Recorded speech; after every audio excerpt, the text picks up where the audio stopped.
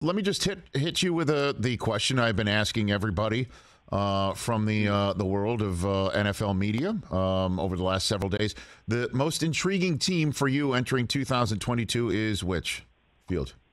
I'm going to go with the Chargers. And the reason why is they've been a team that, even going back to when Philip Rivers was their quarterback, felt tantalizingly close to being in the contention race in the AFC and potentially a Super Bowl te- contender as well. Uh, and this year, and maybe I'm taking the bait and maybe I'm overreacting to some of the offseason moves, but it feels as though this year they are closer than ever. And it's not just because of the additions of Khalil Mack and J.C. Jackson and Kyle Van Noy and others on defense, Zion Johnson on offense, and some other pieces added as well. I think it's just because Justin Herbert has a chance to get even better than he was last year, which is sort of a scary thought when you look at how he performed last season. We're talking about a guy who I know it sounds a little bit hyperbolic, but could one day set like individual season passing records, whether it's passing yards, passing touchdowns.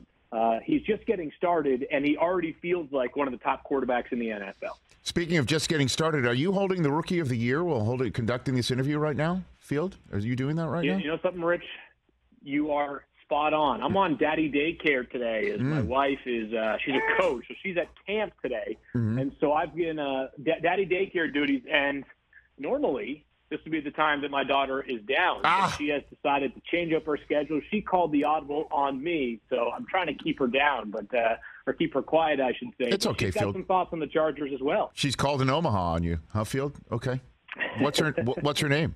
What's her name? What's your baby's name? This is Kinley. She's six months old, oh. and she was born on the Friday of the divisional round of the NFL playoffs this year, which I know you will recall was, in some people's estimation, the greatest divisional round the league has yes. ever seen. Yes. And every competitive NFL game she's seen since then has been decided in dramatic fashion. So no pressure, Rams and Bills, uh, when you guys get started in six weeks from tonight. But if you don't hold up your end of the bargain, she may never be a football fan. Well, for your wife's sake, I hope her birth was more uh, was less eventful uh, than than every single playoff game that uh, that followed. Field, I'll just say that. Fortunately, was. Yeah. Uh, okay, so very good. So the Chargers, huh? So, oh man, uh, I, I'm I've been picking the Raiders to win the division. Um, talk me out of it. Go for it if you want to.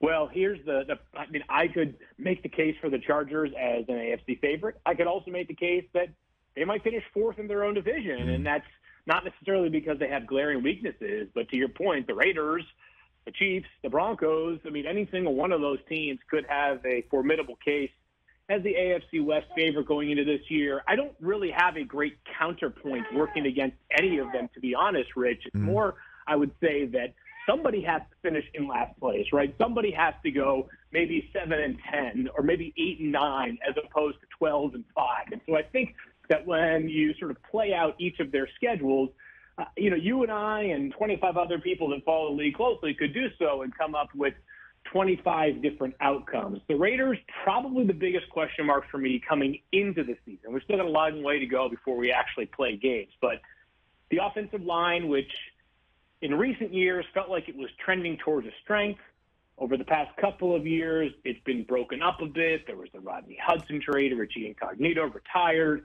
They're still trying to figure out what to do with last year's first round pick, Alex Leatherwood. So the Raiders' offensive line has my attention, but in that division, every offensive line, specifically the right side of the offensive line, has my attention because if it's not Khalil Mack one week, could be Bradley Chubb the next week. It could be, not just be applicable to the Raiders, Maxx Crosby or Chandler Jones the following week. So a right tackle may not get paid on average as much as a left tackle, Mm. But you can make the case that in the AFC West, they're just as important.